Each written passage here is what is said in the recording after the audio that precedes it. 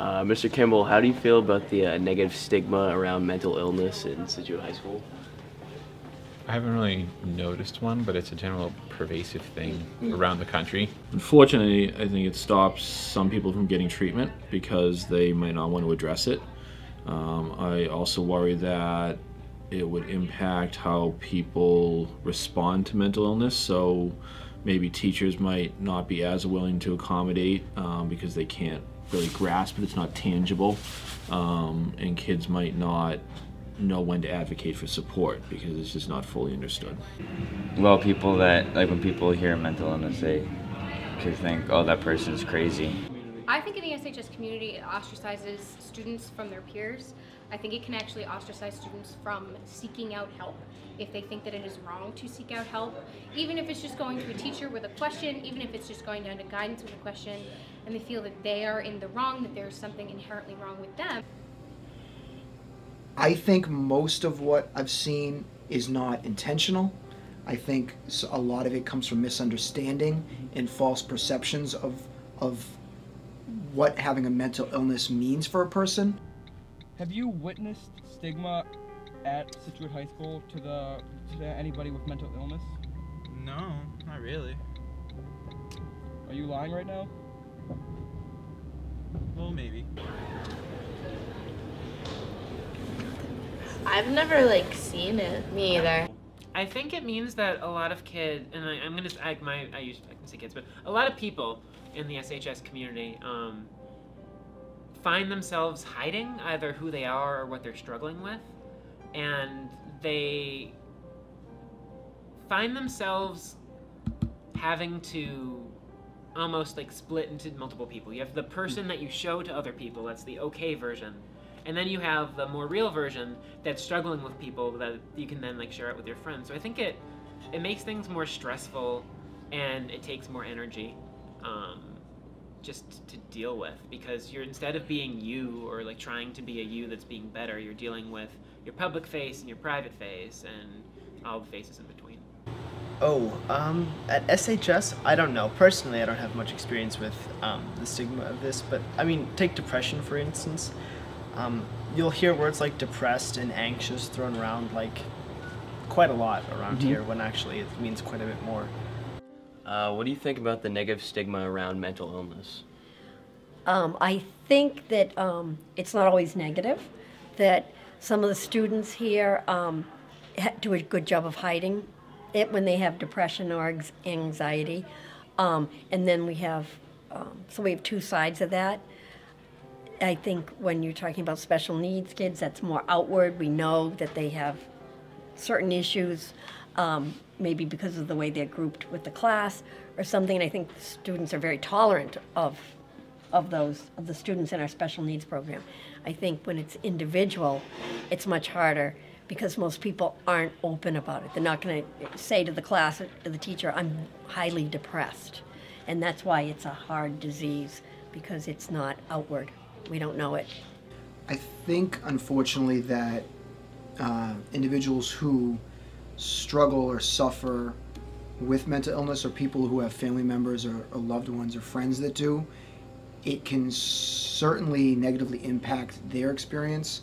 I think for those who struggle with it themselves, it can be maybe um, maybe an inclination or a tendency to kind of keep it to themselves for fear of disclosing what they're struggling with um, because of maybe some negative negative um, you know feedback they would get from people. And some of some of that could be from people who maybe have been diagnosed outside of school and don't want to maybe bring into the school. But in general for others maybe people who are struggling with stuff that they don't want to reveal to anyone mm-hmm. for fear of being uh, criticized or judged uh, I think the negative stigma is damaging. Uh, it's very upsetting. I feel that people who have it often feel ostracized and unwanted and, un, uh, unworthy, which is just incredibly wrong. And I do not like the fact that that is happening to people. That's that's just wrong. That's just the flat out. It is wrong. Well, I think it's unfortunate that there's any stigma at all that's associated with it. I think you know, it's probably a product of our society and maybe lack of education that creates the stigma. Uh, how many mental illnesses can you name? Um, do you want me to name, like, list them out? Depression, anxiety. Yes. Uh, schizophrenia, bipolar. General anxiety disorder, um, chronic depression, uh, BPD, um, bipolar disorder. Uh, anxiety. About like 10. Okay. Do you know many people with a mental illness? Uh, I know a couple people. Yeah, my cousin has a mental illness. She has borderline personality disorder. I don't. How many people do you know with a mental illness, if you know any? Um, oh, I definitely know. Um, probably. I mean, at, at least 30. I mean, um, Yeah, I know uh, throughout my life people I've grown up with, family members, um, certainly loved ones, students that I've worked with, um, very very successful professional people.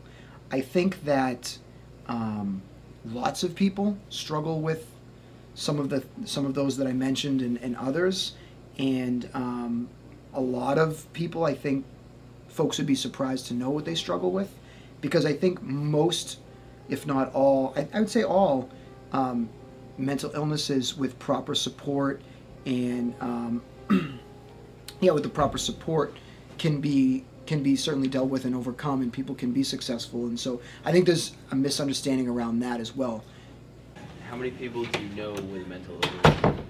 Handful, probably like five. Yeah, I'd say five. Uh, do you know what stigma is? It's like a pre-positioned like opinion on something. Do you know what stigma is? No. Stigma? Uh, yeah, it's like a negative connotation, kind of, sort of. Yeah, basically. Do you know what stigma is? No. It's a, a mark of disgrace associated with a particular circumstance. So there's a lot of negative stigma around mental illnesses um, because people are very uneducated. Um, what do you think we can do in Scituate to end mental illness and mental illness stigma? Just like anywhere else, you have to spread awareness. People need to realize that, you know, a lot of us wandering around probably have it, but you can't see inside someone's head. You know, how well they carry it is one thing, but um, it just needs to be made aware of. Like anything else, raise awareness. So put out there statistics about what mental illness is, who's impacted, who's affected, how it changes and improves when treatment's provided, and how it increases in significance when treatment's not provided, and just show that it's worth putting preventative measures in place, and you don't want to avoid it. Um, just like talk about it more. Don't be afraid to talk about mental illness. Um, don't like there's sort of like this big shadow over it, and that people sort of associate it with like weakness or um, just like fear of like the unknown. Because a lot of um, a lot of it's like unknown. You don't want to be identified with a mental illness, so just talk about it more, become more comfortable with it. Yeah, definitely just more education about it. I think raise awareness for it. In particular, like have people that maybe are mentally ill and have them speak and show that it's not really all as terrible as it's cracked up to be. Yeah, I think I think edu- education. You know, I think um, it used to be um, like no one talked about breast cancer; it was a big secret. But then people started to admit that they had it; and it wasn't a shameful thing. And then there's more research and more awareness and understanding. And then those people were able to be in the mainstream and be treated and healthy and all that. So I think the more people understand what's out there, and I think also it's hard um, to learn to talk about uncomfortable things in a respectful way. Um, and so I think that's a big thing. If you can help people to know that it it's challenging, but it's not um, it's not a nasty, terrible, deep, dark, secret thing. It's like this is okay. This happens, uh, and then we can deal with it. Um, ooh, how can we, right? Because how can we solve the problem? Um, I think.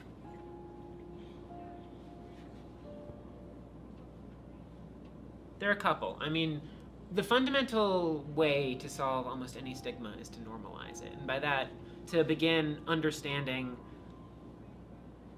at a real, at a very. Let me start that sentence again because I'm Okay. trying to find a word. Um, in order to not have a stigma, you need to understand on an elemental level that like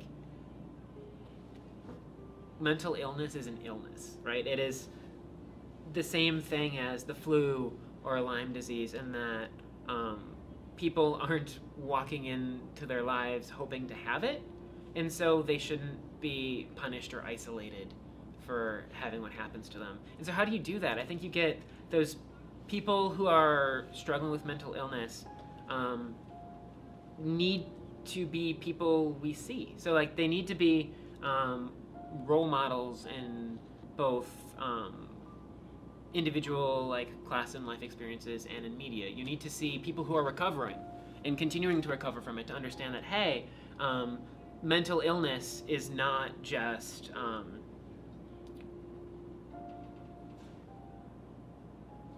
that like mental illness is something that can be managed and worked with and um, that there is some both level of hope and normal to those people who like might seem completely um, fine to people who don't know what's going on and just like have therapy and medications in place.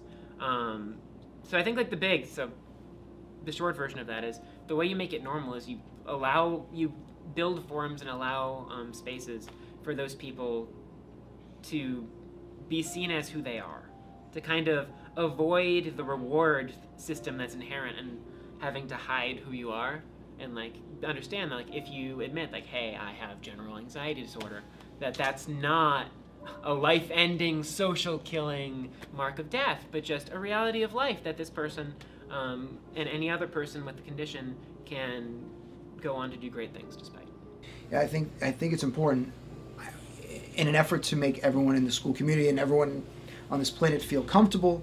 I think I think as much as people is to the extent that people can educate themselves and um, yeah do do a lot of research on their own and and find out the truth about what these mental illnesses are and what they involve and, and people's ability to persevere and, and live with them in a, in a successful way. I think that will the, the less ignorance that exists, the more that stigma will be you know eradicated. I think a lot of stigma comes from lack of information or ignorance, and so as people try to educate themselves, uh, I think we'll see the you know the ignorance and the stigma go away.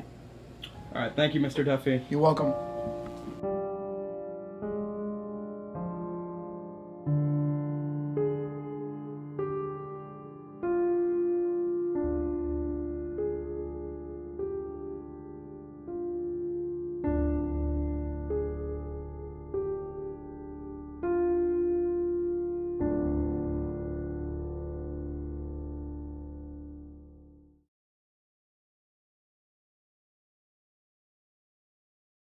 I think that. Um, excuse me. Yes.